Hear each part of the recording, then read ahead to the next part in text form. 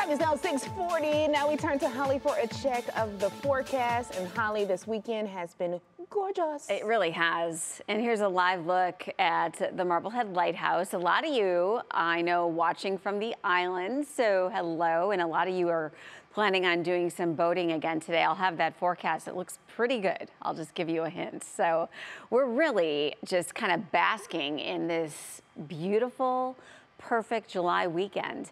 61 degrees right now. We are seeing more of a partly cloudy sky. Dew points are still nice and low. I'll show you a map of all of that here, but actual temperatures were mainly 50s here as we are just uh, a bit past sunrise and it's just comfortable. This is that weather that we want to bottle up and keep forever and whip out in the middle of a January snowstorm. I mean, that's just the truth.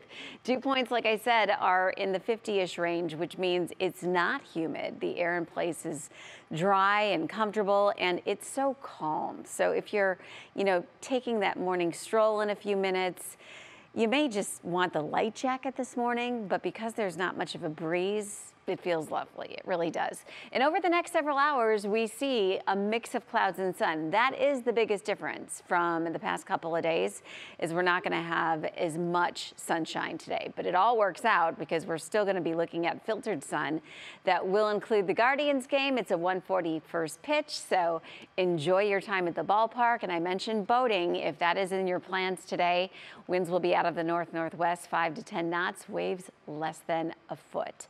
So when do we start to see some rain return to the forecast is the uh, question. We're going to do some tracking now on our National Design Mart hour by hour. And it definitely is not today. Noontime, why not outdoor it, right? Maybe you're taking a hike today, beautiful for that.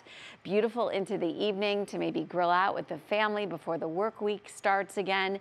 And as we look ahead to early tomorrow and you waking up for work, this is the view at 6 a.m. and we're starting our day in the 60s. It'll be a little milder tomorrow. And then we'll look at highs slightly warmer, but I mean, it's seasonal.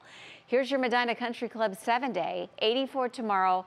Tomorrow will also include mostly cloudy skies. I didn't put the raindrop on tomorrow late day because it's a very small chance for a pop-up shower tomorrow. Tuesday still pretty small, but we'll up it to about 30% for some late day showers or storms. And then it becomes more of a scattered chance Wednesday and Thursday it looks like we'll see at least times of showers and storms those days. And then here comes another beautiful weekend. Mostly sunny skies expected Friday into Saturday. Kaitor, we've really had a great stretch and it looks like we'll end the weekend on a very high note here. All right, forecast looking good. Holly, thank you.